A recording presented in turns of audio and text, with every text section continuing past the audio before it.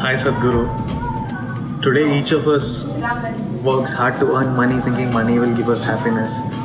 Uh, happiness is the most marketed thing. We think we drink alcohol thinking it'll make us happy. We want to be with a woman thinking she'll make us happy. Uh, but what is it that will make us happy? What is it that will keep us happy? We are at a point where we don't even know where it is that we'll find happiness. So, what is happiness? What does a happy man look like? What does a happy man do? Uh, don't tell me look for happiness inside. That answer doesn't work for me. Give me the truth. Namaskaram, Vijay.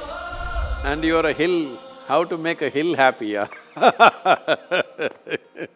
So, what does a happy man look like? What do I look like to you? now, we are thinking of happiness like it's some kind of a commodity or some kind of an attainment. No, when your life comes to ease, when you come to ease, happiness is a natural consequence. Coming to ease, what does it mean?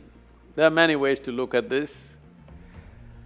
Well, because uh, I should not say look inward you already put a condition on me. So, is it true that today, even medically we know, every human experience has a chemical basis to it? So what you call as peace is one kind of chemistry, happiness is another kind of chemistry, joy is another kind of chemistry, misery is another kind of chemistry, agony is one kind of chemistry, ecstasy is another kind of chemistry. Every human experience has a chemical basis to it. Or in other words, you are a very complex chemical soup. The question is only, are you a great soup or a lousy soup? if you're a great soup, you taste good, not for somebody, for yourself.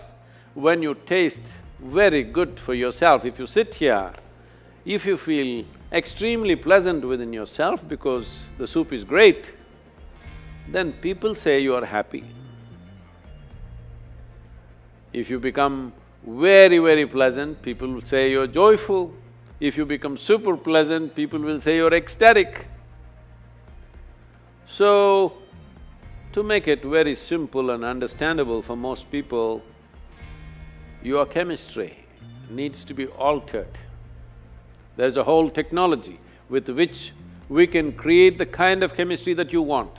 If I teach you how to create a blissful chemistry within yourself, your very chemistry is blissful and you will be blissful.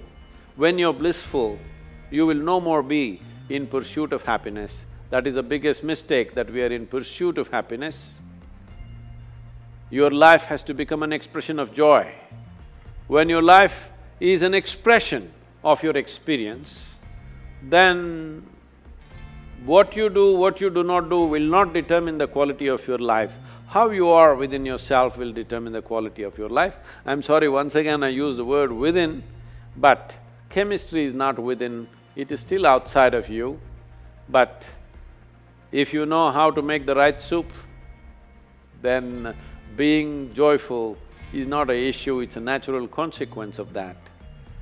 So, we can teach you a technology, we can teach you a methodology with which you will know how to stir the right kind of soup within you.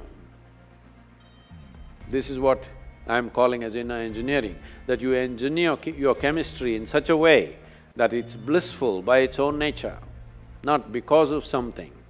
If you think you're going to squeeze happiness out of something or somebody, you will be disappointed because nothing will yield anything unless you have a chemistry of blissfulness within you.